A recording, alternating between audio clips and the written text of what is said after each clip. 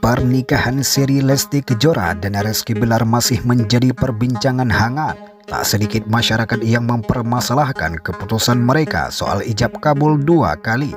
Ramainya pemberitaan tentang pernikahan seri dan dua kali ijab kabul turut ditanggapi oleh Ustadz Solmed. Kepada awak media, Ustadz Solmed menjelaskan apa yang dimaksud dengan nikah siri. Ia menyebut bahwa nikah siri memiliki arti senyap dan diam. Kenapa disebut siri? Siri itu artinya senyap, diam, gak kedengaran. Sir, jelas Ustadz Solmed.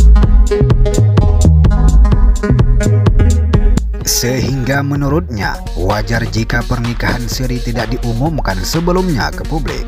Dari namanya aja sudah sir, senyap gak kedengaran. Jadi wajar kalau tidak terdengar oleh siapa pun, kata Ustadz Solmed. Jadi wajar kalau tidak ketahuan sama siapa pun, sambungnya lagi. Lebih lanjut, suami April Jasmine ini berujar bahwa ijab kabul dua kali seperti yang dilakukan Lesti Kejora dan Rizky Bilar tak melanggar hukum syariat. Bicara soal hukum, pertama tidak mengapa, yang kedua juga tidak membatalkan pernikahan yang awal. Jadi dengan ijab kabul kembali, terang Ustadz Solmed.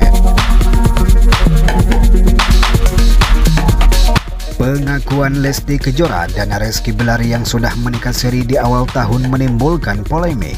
Banyak yang menuding mereka melakukan pembohongan publik.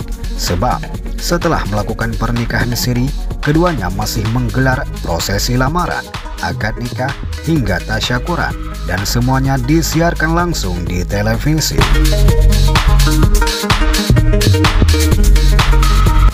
Begitulah informasinya. Jika ada kesalahan, kami minta maaf.